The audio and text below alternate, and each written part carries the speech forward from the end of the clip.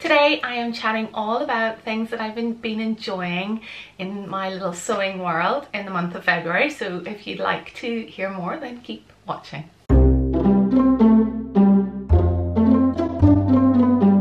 Welcome back to the vlog. This is Susie from Threadquarters. Thanks so much for joining me again today. I'm in a slightly different setting today because my sewing room that I normally film in is chaos and I don't have time to created space for filming.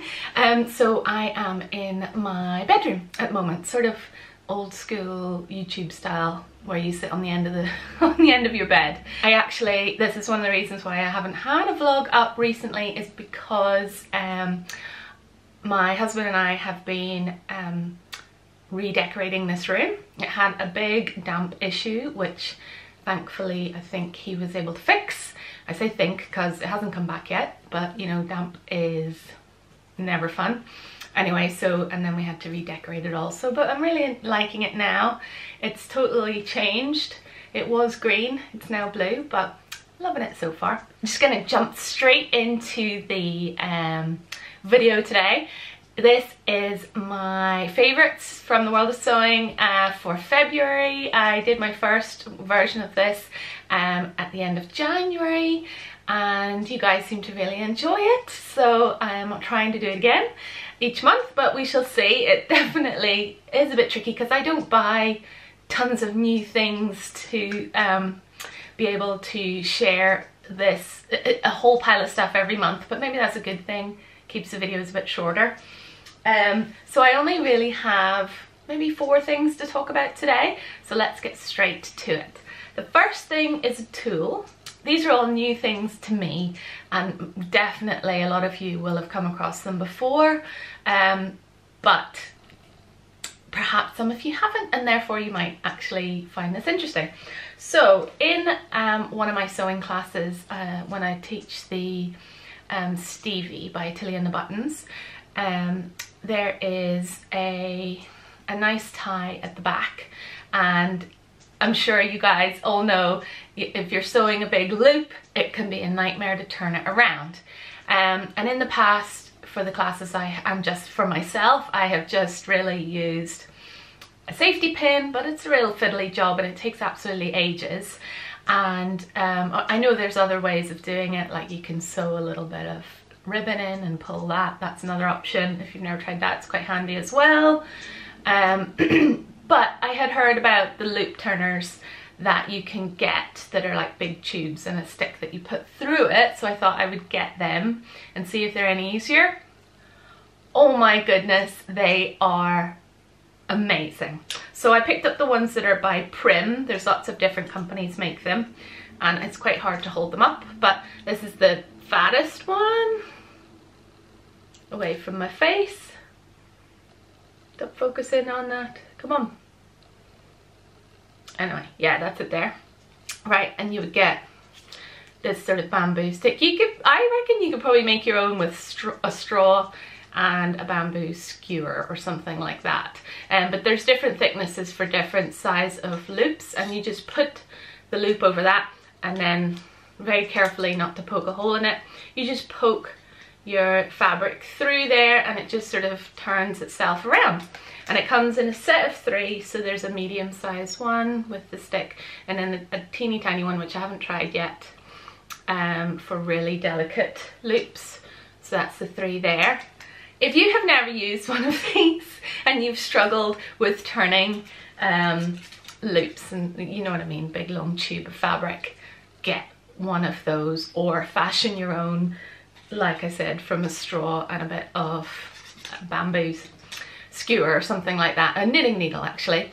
Um, it's fantastic. It literally takes seconds to turn your loop around. None of this faffing around, um, trying to wriggle the safety pin out. No, no, none of that. It's just brilliant.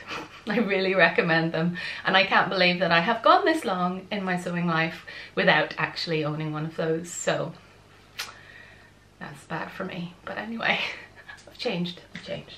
Okay, so that was my one sort of sewing tool that I wanted to share with you that I think is absolutely brilliant. And next I just wanted to chat about a um, sewing um, website that I use to buy my sewing patterns from and it's called Jaycotts. Um, and it literally, I mean, they, I think they sell other things, maybe some haberdashery and sewing machines and things like that, but I've never, I've only ever used it for sewing patterns. They have uh, all the big four and they have the Buttons and maybe a couple of other independent ones. So they don't have a lot of independent ones, but if you're wanting your big four, um, they do, mostly they're all the sort of the same price, but some of them are a little bit cheaper than other shops but it's the postage the postage. If you buy over I think 20 pounds um I think I'll double check if it's wrong I'll put it down in the description box. But if you spend over 20 pounds um your your postage is free. This is obviously UK um situation you know i don't know what it's going to be like posting to other places in the world. So but just for your for the uk viewers out there spend 20 pounds and the postage is free and it's next day delivery and it is astoundingly fast. I'm just really always super super super impressed with how quickly the turnaround is for the order. So you know you could order it on monday morning and you'd get your um, patterns on tuesday in the post it's brilliant. Um, I've always been very impressed with with their um, service. And, and like 20 pounds when you're buying a few patterns I would say like maybe three patterns and you're going to be there with your 20 pounds. So it's not that hard to get to that um, free postage threshold so yeah, it just um, thought I would flag it up. It's not sponsored or anything like that. I'm quite sure they don't know who I am or anything like that. But um, I just wanted to give a shout out because um, I'm really, really impressed with how quickly they do their turnaround of their orders. And then I wanted to chat about, um, we're chatting about favourites for the month of February. Uh, my absolute 100% favourites of this month has been my students that just finished their course. They started in January and they finished just before Valentine's Day, I think it was. And um, I had two classes in January, February. One was my evening dressmaking class and the other one was my morning uh, learn to sew baby clothes class.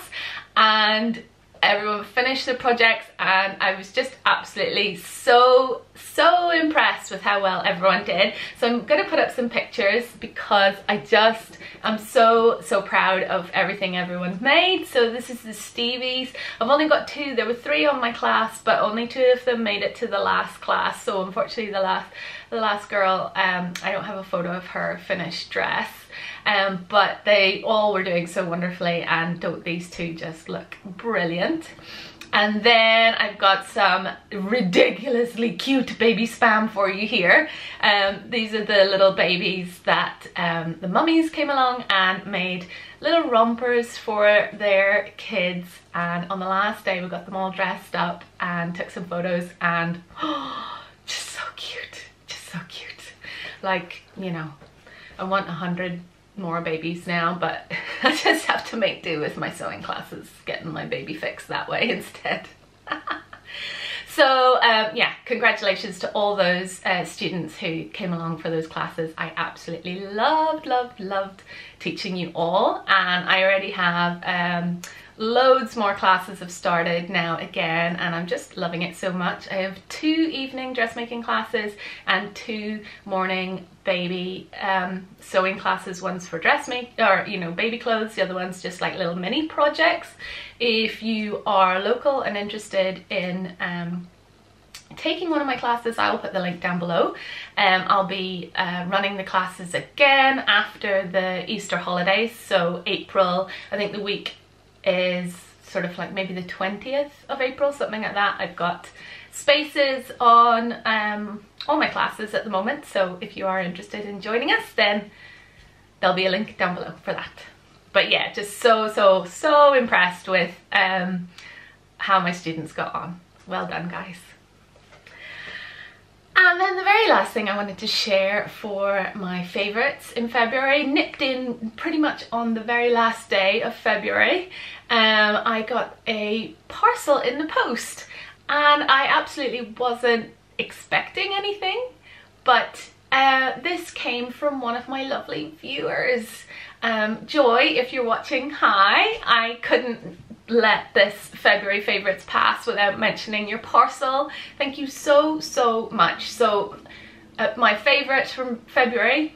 Next one is the kindness of sort of strangers because I sort of I feel like I know you jo Joy so um yeah just she took she said she was out fabric shopping and she saw some fabric and thought of me and wanted to post it to me now we had already had um, communication in the past so she did have my address that way. But like I wasn't expecting her to be sending me this so thank you thank you thank you so much Joy. So I'm going to show you the fabrics that she sent me. And she sent me tons by the way. You were very naughty sending so much. Right let's just get it out. It's in no order as I say. Some look at this one here look at that wow and then the inside is awesome too like a darker green maybe that's the right side. I, I can't decide actually. I suppose it's the kind of fabric where you could use either side. Amazing. That one. Then this beautiful, like see the way it's different colours?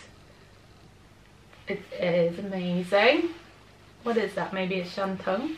Shantung? I don't know. I'm not sure, but beautiful colours. Then this is like a chiffon with a like a cherry blossom print on it maybe. Would make a beautiful pussy bow blouse. Another chiffon, floral, lovely for spring. I know there's more. This one, another lovely spring blossom one. This one is on a like a satin, I think. Very pretty. And this one as well. I really like this one actually nice colours in that. That's another satin of sorts. And then I've saved this one for last because she's put a spanner in my works for my um, uh, Frocktails plans. If you didn't see my video about that where I was chatting about what I was thinking about making for the Belfast Frocktails that's coming up in April, which I still haven't started because, you know, I'm really scared to commit. uh, I was going to be making something with some red silk that I have.